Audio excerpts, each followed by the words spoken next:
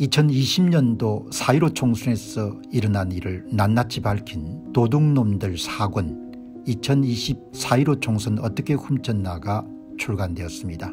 이미 발간된 도둑놈들 1권 선거 어떻게 훔쳤나 도둑놈들 2권 2022년 대선 어떻게 훔쳤나 도둑놈들 3권 2022년 대선 무슨 짓을 했나에 이어서 네 번째 발간된 책입니다. 여러분께서 구매해 주시고 주변에 널리 알려주셔서 선거 공정성 회복을 위한 노력에 힘을 대해 주시기 바랍니다. 감사합니다. 그러니까 삼성 반도체 인사를 주도한 그런 분들은 심혈을 이런 인사를 했을 겁니다. 그러나 시장 반응은 아주 안 좋습니다. 여기 보시게 되면은 이제 이틀째입니다. 삼성전자의 반도체 수장에 대한 교체 인사가 발표가 되고 첫날 둘째 날 둘째 날 이런 주가를 보시게 되면 은 1.42% 이름 내려앉은 겁니다. 5만 예, 5,500원이 된 겁니다. 그래서 여러분들 10조 원 정도의 자사주 매입을 발표했더라도 며칠 동안 여러분들 그냥 주가가 조금 반등했고 계속적으로 내리막을 걷는 겁니다. 이게 전적으로 삼성 반도체 인사를 반영한 거라고 생각하지 않는데 예, 시장에 참여하고 있는 많은 투자자들이 기대했던 거하고 다른 그런 예, 삼성 인사라고 이렇게 발표하는 겁니다. 예, 이제 정신을 좀 차리고 주요 언론사들이 취재를 해가지고 그런 취재 기사들이 나오기 때문에 오늘 대표적으로 조선일보가 다룬 기사 한번 보시기 바랍니다. 혁신을 하지 못한 삼성 반도체 인사 예. 이 반도체 인사가 나온 겁니다. 예. 그러니까 아주 우호적이지 않습니다. 웬만큼 여러분들 괜찮았으면 은 이 삼성전자가 여러분들 큰 광고주기 때문에 대부분 언론사들이 좀 호의적인 그런 기사를 쏟았을 겁니다. 이게 전영현 부회장 7년 만에 다시 메모리 사업부 수장을 맡았다.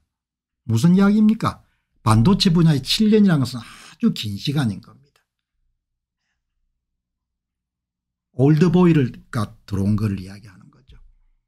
파운드리 수장에는 메모리 성골 한진만 사장 평생 동안 메모리만 해서 메모리 분야의 이런 성공 기억만 갖고 있는 사람을 파운드리 분야에 투입한 겁니다. 그러니까 나는 그거 이거 그냥 중요 부분만 보더라도 뭡니까 인사에 대한 부분이 감이 잡는 겁니다. 업계에서는 과거 인물 대신에 좀 회사를 신선한 인물로 채웠으면 좋았겠다 그렇게 이야기하는데 어떻든 조선의 두 기자가 취재한 내용을 보게 되면 예, 전영현 부회장이 7년 만에 다시 메모리 사업부장을 겸임하는 것을 두고 일각에서는 근본적인 혁신으로 보기가 어렵다는 지적이 나온다. 예, 인공지능 시대에 뒤처진 삼성전자 메모리 반도체 사업을 혁신할 인물을 발탁하는 대신에 과거 지향적인 인사를 선택했다는 전문가들의 지적이 나온다. 뭐 틀린 이야기가 아닌 겁니다. 그래서 여러분들 삼성전자가 장기 투자할 만한 그런 주식은 아니라는 생각을 저는 한 번 더 확인하게 되는 겁니다. 그 비싼 가격에 사신 분들은 이제 주가가 좀 반등되거나 그렇게 하게 되면 팔고 나와야 되겠죠. 조금 손해를 보더라도 예. 반도체 사업은 작년 15조 원에 달한 적자를 뭐 경기가 안 좋았으니까 올해 들어 AI 열풍과 함께 급변한 시장에서 초격차 경쟁력을 잃었다는 비판을 받고 있다. 본래 삼성전자의 초격차가 사귄 겁니다. 초격차가 없었던 겁니다. 내 이야기가. 예. 그러니까 여러분들 초격차 외치고 한몫들 다 잘생겨 나가게 된 겁니다. 회사가 뭐 골로 가든 말든 간에. 예. 이번 인사의 쇄신 대상이 된 메모리 사업부와 파운드리 사업부에는 해결해야 될 과제가 산적해 있다. 세계 1위 기술 경쟁력을 자부하던 자부하던 과거형입니다. 메모리 사업부의 경우에 AI 핵심 반도체인 고대역폭 메모리 시장 주도권을 경쟁사인 SK 하이닉스에 뺏겼다. 예. 메모리를 쌓는 기술도 뺏겼지만 이런 메모리를 만드는 기술도 여러분들 뒤처지게 된 겁니다. 예. 파운드리 사업은 선단 공정의 수율 문제로 대형 고객사 유치에 어려움을 겪고 있고 분기마다 1조 원 이상의 적자를 내고 있다. 예. 이게 파운드리 사업의 뭐죠 예, 평생 동안 메모리 사업을 해본 사람을 지휘부에 앉힌 겁니다. 그러니까 동서남북을 전혀 구분하지 못하는 인사라는 생각이 드는. 그냥 자기들끼리 돌아가면서 해먹는 겁니다. 나는 그렇게밖에 안 보이는 겁니다. 예. 메모리를 이런 평생 동안 해온 사람이 파운드리를 어떻게 잘하겠냐 이야기죠. 완전히 예 업의 특성이 다른데 하나는 이런데 설비 투자 이런 대량으로 찍어낸 사업이고 하나는 뭡니까 고객들의 맞춤형 여러분들 생산을 하는 건데 업의 특성이 완전히 다르지 않습니까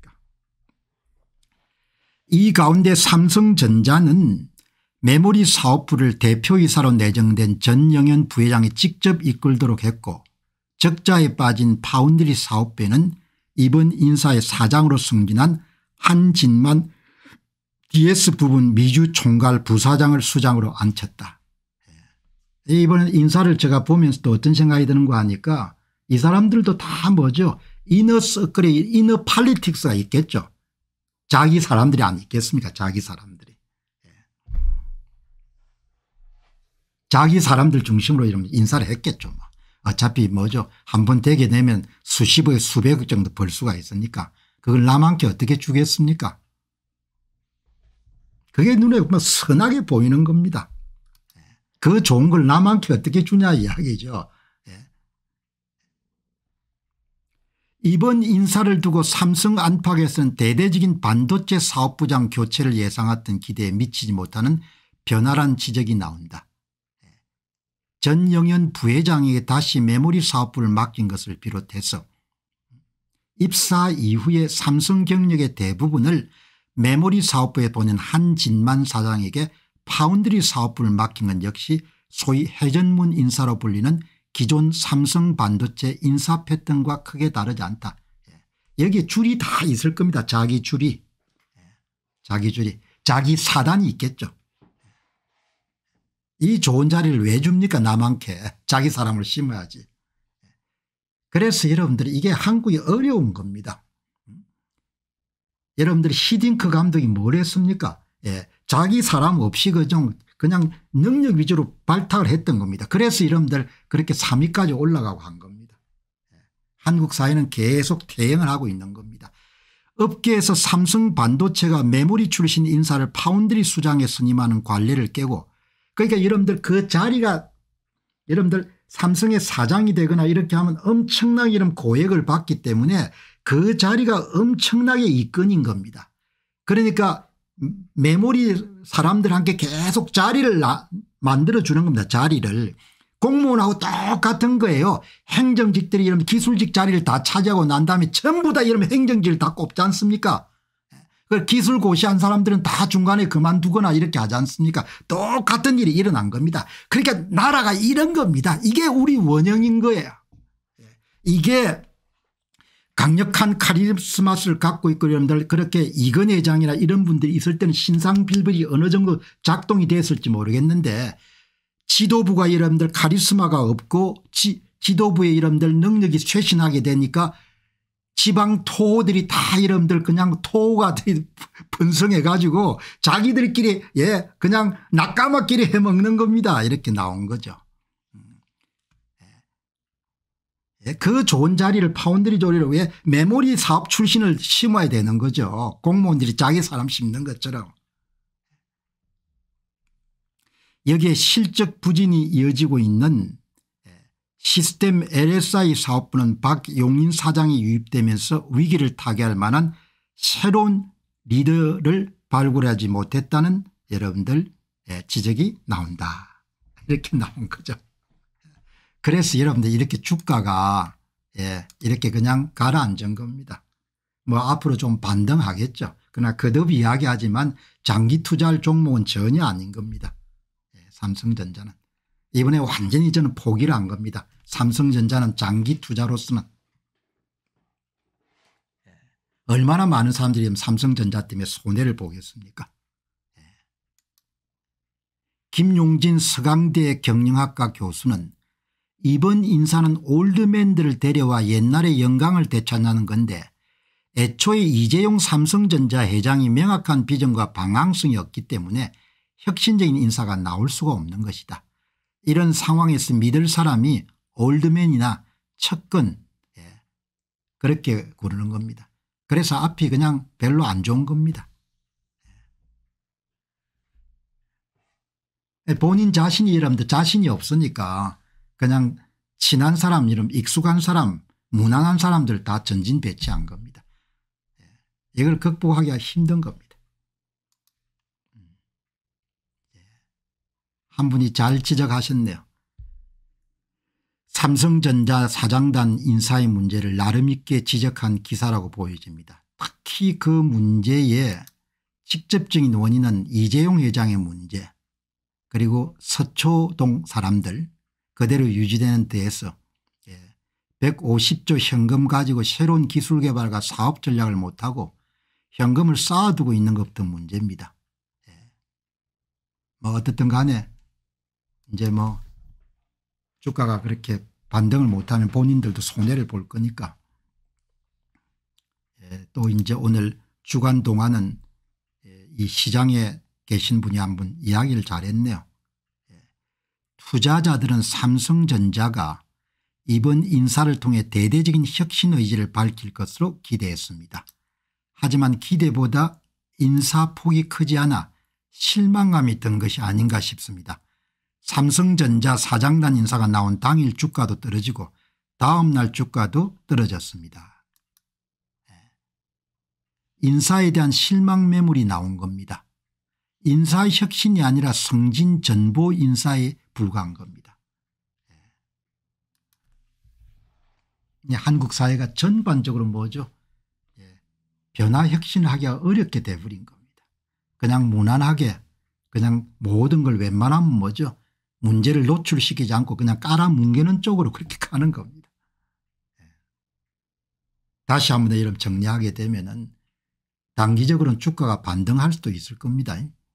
그러나 이 종목은 장기 투자할 만한 종목이 아닙니다. 대한민국의 삼성전자에 장기 투자할 만한 종목이 아니라는 이야기는 그건 다르게 이야기하면 대한민국에 장기 투자할 수가 없다는 이야기를 뜻하는 겁니다.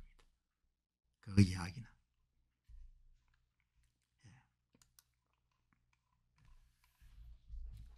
자 여러분 이제 오늘 한국에서는 이제 많은 분들이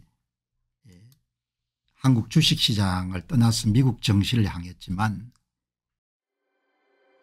안녕하십니까 공병호입니다. 그동안 공병호 tv는 선거 공정성 회복과 자유민주주의 체제의 보존과 발전을 위해 노력해왔습니다. 이런 노력들이 지속될 수 있도록 공병호 tv의 전기 후원 프로그램이자 멤버십 프로그램을 소개해드립니다. 뜻 있는 분들의 관심과 동참을 부탁드립니다. 선거 공정성 회복을 위한 노력을 지지하시고 훌륭한 나라 만들기에 동참하시는 시청자분들이시라면 구독 버튼 바로 옆에 있는 가입 버튼을 통해서 정기 후원 프로그램에 가입할 수 있습니다. 가입 버튼을 누르시면 공병호TV의 후원자가 되시게 됩니다.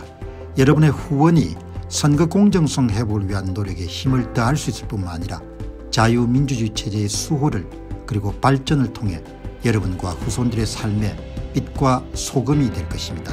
특히 그동안 공병호TV는 선거 공정성 행보를 위한 노력 과정에서 채널 성장에 제약이 가해지는 불이익을 감수해왔고 지금도 그런 불이익이 계속되고 있습니다. 그럼에도 불구하고 너무나 중대한 문제이기 때문에 공병호TV의 노력은 계속될 것입니다. 여러분의 깊은 관심을 부탁드립니다. 감사합니다.